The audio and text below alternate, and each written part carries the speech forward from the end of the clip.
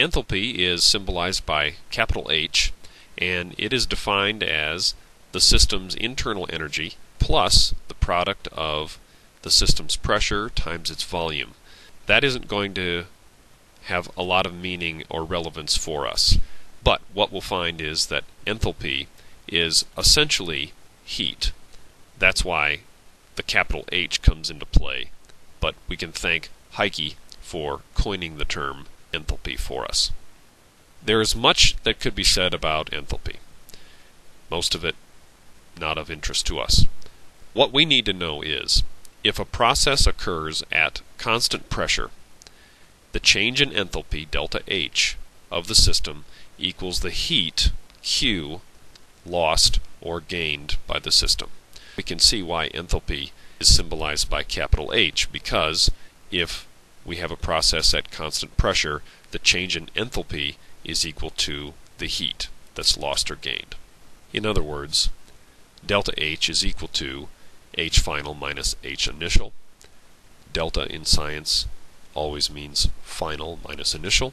So delta H would be final H minus initial H, and that's equal to Q.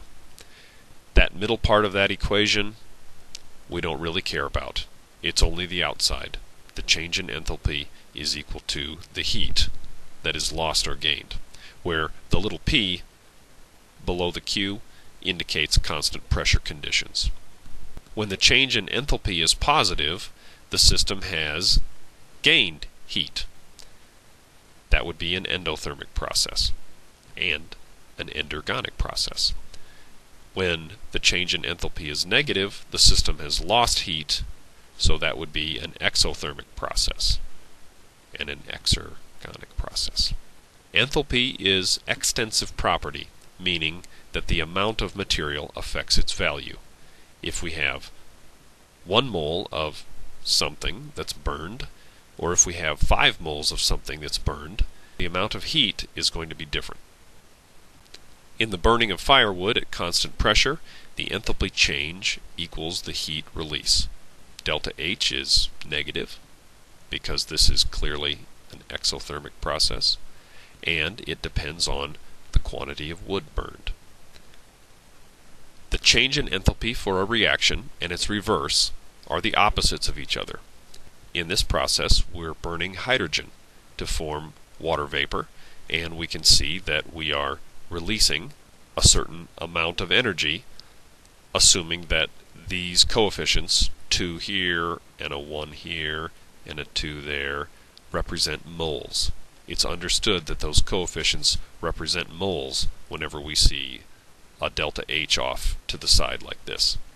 If we flip that equation around with the water vapor being the reactant and the hydrogen and the oxygen being the products, then the enthalpy change has the opposite sign.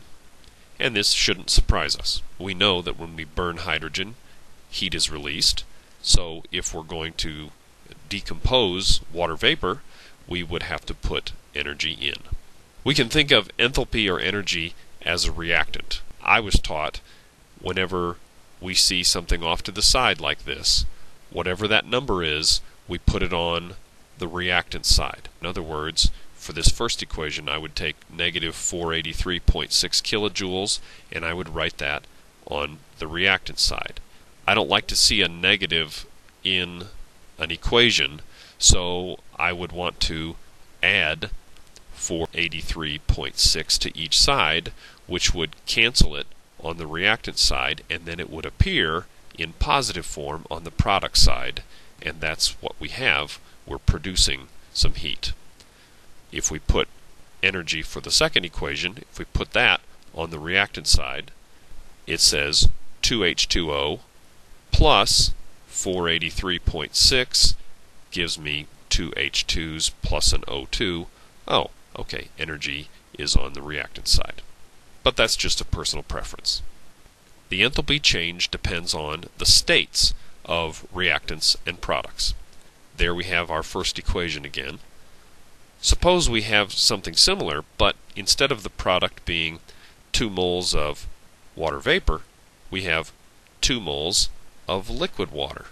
Let's see, would there be more or less energy released in the second case? And the answer is more energy will be released because 2 moles of liquid water have less internal energy than 2 moles of water vapor. So to give us 2 moles of liquid water, we would have to release more energy. So we shouldn't be surprised that this number is also negative, but has a bigger magnitude than when we produce water vapor. Let's summarize enthalpy. For processes that occur at constant pressure, the change in enthalpy delta H equals the heat transferred Q. Delta H is positive for endothermic processes and negative for exothermic processes. For a given reaction and its reverse, their delta H's have opposite signs. Also, the change in enthalpy delta H depends not only on the substances in the reaction, but also on their states of matter.